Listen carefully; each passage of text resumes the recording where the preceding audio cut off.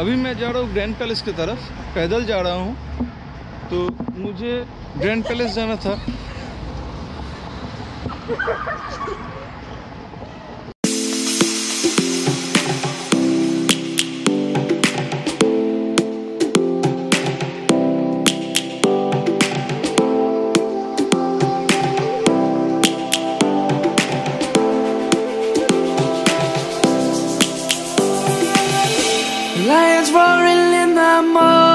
Morning sun, searching for a longer day.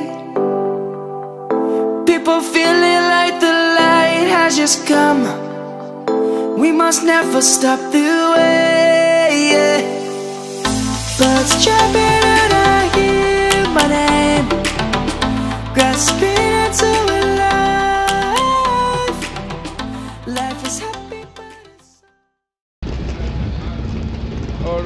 Checkout कर चुका हूँ अपने हॉस्टल से। और अभी मैं जा रहा हूँ एम्स्टर्डम सेंट्रल स्टेशन की तरफ़। मुझे वहाँ से फ्लिक्स बस पकड़ना है। मुझे वहाँ से फ्लिक्स बस पकड़ना है। और फ्लिक्स बस छोड़ता है स्लॉटर डिक से, जो एम्स्टर्डम सेंट्रल से थोड़ा सा दूर है, लेकिन ट्रेन और बस से जी जाया जा सकता है। स्लॉटर टिक जाऊँगा फिर स्लॉटर टिक जाने के बाद वहाँ से फ्लिक्स बस पकड़ के ब्रसल्स जाऊँगा।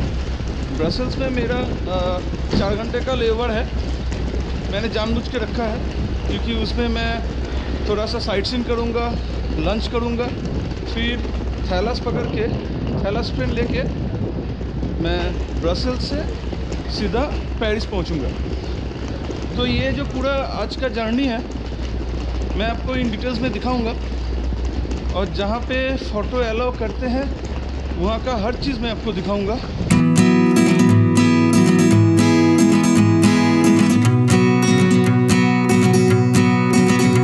मैं ट्रेन से भी ब्रसेल्स या डायरेक्ट पेरिस जा सकता था, लेकिन मुझे आपको दूसरा रूट जो है, वो दिखाना था। फ़िलहाल मेरा मेट्रो आ गया है, जिसमें मैं जाने वाला हूँ स्लॉटरडिक स्टेशन पे।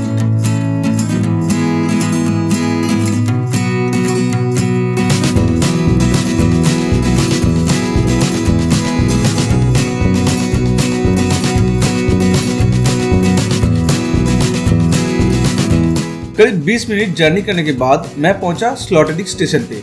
स्टेशन के बाहर आपको स्लॉटरडिक फ्लिक बस स्टैंड मिल जाएगा। लेकिन मैं सजेस्ट करूँगा कि आप स्टेशन के अंदर किसी भी शॉप से बस स्टैंड का पोजीशन या रूट पूछ लीजिएगा, या फिर गूगल मैप का इस्तेमाल कीजिएगा, क्योंकि स्टेशन के अंदर से भी बस स्टैंड जाने का रास्ता है।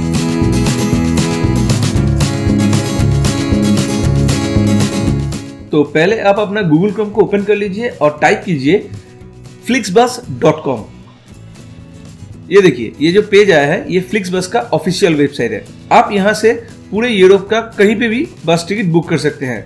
तो फ्रॉम पे आप टाइप कीजिए एम्स्टरडेम और टू पे टाइप कीजिए ब्रसल्स अब डिपर्चर डेट आप अपने हिसाब से दे दीजिए। मैं एक डेट दे देता हूँ। एडल्ट वन अगर जितना एडल्ट होगा, एक, दो, आप दे दीजिए उसी के हिसाब से और क्लिक कर दीजिए सर्च ऑप्शन पे।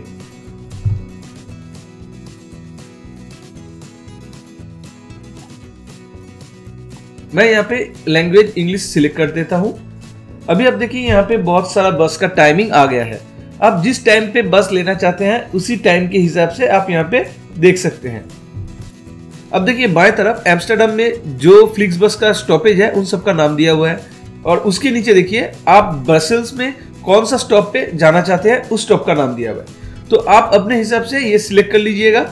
मैं आपको ये सजेस्ट करूँगा कि आप हमेशा इसे सिलेक्ट ऑली करके रखें अभी देखिए यहाँ पे आपका बस स्टैंड का नाम और बगल में आपको डायरेक्ट है या इनडायरेक्ट या वन स्टॉप या टू स्टॉप ये मेंशन किया हुआ है और उसके बगल में रेट मेंशन किया हुआ है। जैसे कि 9.99 यूरो और लेफ़्ट हैंड साइड में देखिए टाइम दिया हुआ है। तो आप अपने हिसाब से टाइम सिलेक्ट कीजिए। ध्यान रखिएगा टाइम के हिसाब से आप सिलेक्ट करेंगे ज़रूर, लेकिन टाइम के हिसाब से रेट भी वेरी करता है। इसके बाद आप राइट साइड में जो ग्रीन बटन है रिज़र्व वन सीट यहाँ पे क्लिक कर दीजिए। देखिए, यहाँ पे रिजर्वेशन सीट्स का ऑप्शन दिया हुआ है। अगर आप यहाँ पे क्लिक करते हैं तो राइट साइड में जो मैप आता है, यहाँ पे आप अपना बस का सीट सिलेक्ट कर सकते हैं। कौन सा वाला सीट आप लेंगे? तो इन तीनों में से आप एक सीट सिलेक्ट कर लीजिए। आप जब भी सीट सिलेक्ट करेंगे तो वो ग्रीन कलर के हो जाएँगे। ठीक है तो मैं ये सीट को सिलेक्ट कर लेता हूँ। तो आप इसी तरीके से ये बस बुक कर सकते हैं। ये एकदम सिंपल है। तो ये सब देखने के बाद आप नीचे पैसेंजर का जो लिस्ट है, ये भर दीजिए और उसके बाद आप प्रोसीड टू पेमेंट में क्लिक करके credit card, debit card, net banking से पेमेंट कर सकते हैं। ये फ्लिक्स बस की मदद से आप लगभग पूरे यूरोप में बहुत ही सस्ते तरीके से घूम सकते हैं। इस बस स्टैंड पे सिर्फ़ फ्लिक्स बस ही नहीं, बल्कि और भी कंपनी के बस आपको मिल जाएगा। मैं प्रेफर किया फ्लिक्स बस को, क्योंकि ये फ्लिक्स बस पूरे यूरोप में चलता है और इसकी सर्विस बहुत ही बढ़िया है। बस पे चढ़ने से पहले आपको टिकट और पासपोर्ट बस ड्राइवर को दिखाना पड़ेगा वो टिकट और पासपोर्ट को वेरीफाई करेंगे, उसके बाद आपको बस के अंदर जाने का परमिशन देंगे। फ़िलहाल मैं जाऊँगा ब्रसल्स जो कि बेल्जियम का कैपिटल सिटी है। वहाँ पे मेरे पास चार घंटे का टाइम रहेगा। उसमें जितना अट्रैक्शन को कवर कर पाऊँगा, वो मैं आपको ज़रूर दिखाऊँगा। मुझे करीब तीन घंटे समय लगेगा ब्रसल्स पहुँचने में।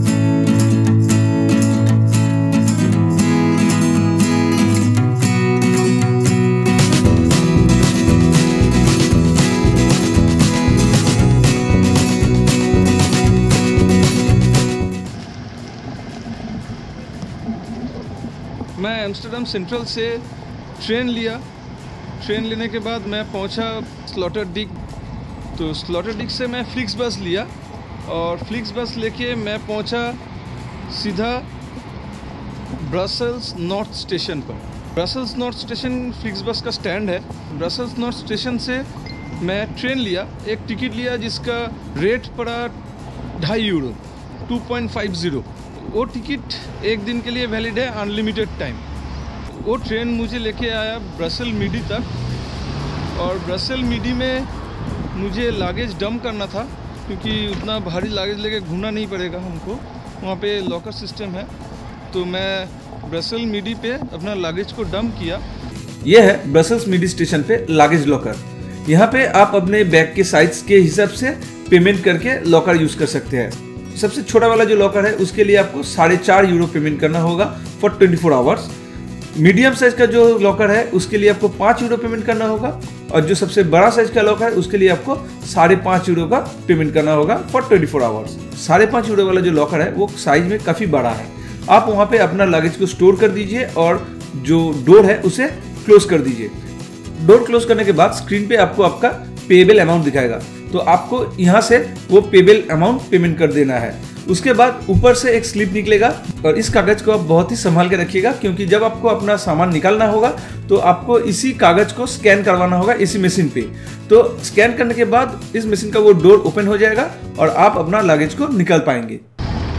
और उसके बाद मैं फिर उसी टिकट का इस्तेमाल करके मैं ब्रसल सेंट्रल आ गया। क्योंकि मुझे यहाँ से ग्रैंड पैलेस देखना था।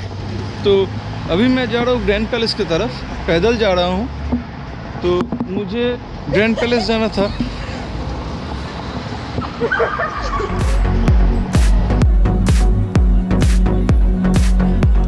यह है Brussels Grand Square. Grand Square के इस बिल्डिंग को टाउन हॉल कहा जाता है।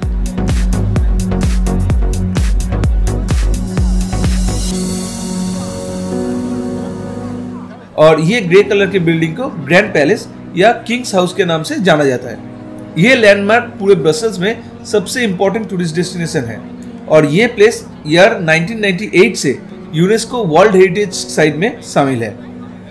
यूनेस्को ने इस जगह का नाम ब्रसल्स ग्रैंड पैलेस रखा था। अगस्त 1695 में फ्रांस की आर्मी यहाँ पे हेवी बॉम्बिंग किए थे, जिससे ये जगह पे चारों तरफ़ आग लग गए थे। और इन सभी बिल्डिंग को काफ़ी डैमेज हुआ था। बाद में इसे कम्प्लीटली रिबिल्ड किया गया था 1992 के आसपास।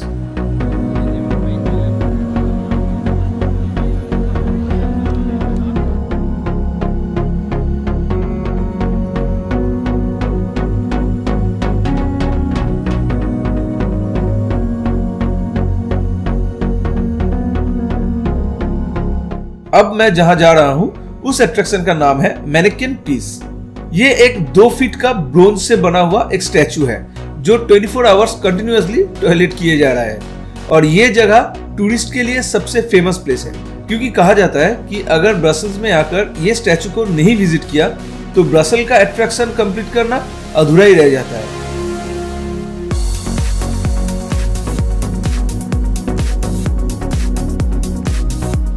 ब्रसल्स अट्रैक्शन में ये भी एक फ़ेमस साइट है। नाम है इसका ब्रसल्स रॉयल पैलेस। यहाँ बेल्जियम के राजा अपने राज कारोबार संभालते थे। इस पैलेस का फ्रंट साइज़ जो है, वो लंदन के बकिंगहम पैलेस से दुगना है। लेकिन फ्लोर एरिया के हिसाब से अगर देखा जाए तो ये बकिंगहम पैलेस के आधा साइज़ का है। ये तीन अट्रैक्शन आप वॉक करके भी कर सकते हैं। और अगर आपके पास अच्छा खासा टाइम है ब्रसल्स घूमने के लिए तो आप हॉप ऑन हॉप अप करके पूरे ब्रसल सिटी को घूम सकते हैं। और हाँ ब्रसल्स आके Belgium waffles fries and Belgium chocolates ये खाना मत भूलिएगा, क्योंकि बेल्जियम चॉकलेट वर्ल्ड फ़ेमस है। फ़िलहाल मैं इन तीन अट्रैक्शन को कंप्लीट करके लौट जाऊँगा ब्रसल्स मिड स्टेशन पे। वहाँ पे पहले मुझे अपना बैगेज को कलेक्ट करना है। यूरोप पे कई देश में, कई स्टेशनों पे आपको ऐसा लॉकर सिस्टम मिल जाएगा, जहाँ पे आप अपना बैगेज को अंदर लॉक करके बेफिक्र होके घूम सकते हैं।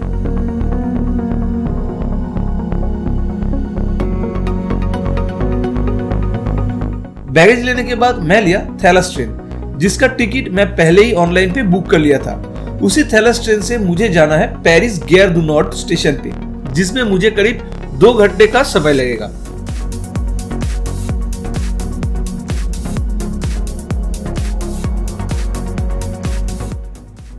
और दो घंटे ट्रेवल करने के बाद मैं पहुँचा Paris Gare du Nord station पे, और स्टेशन से बाहर निकलते ही मैंने देखा कि स्नोफॉल शुरू हो चुका था।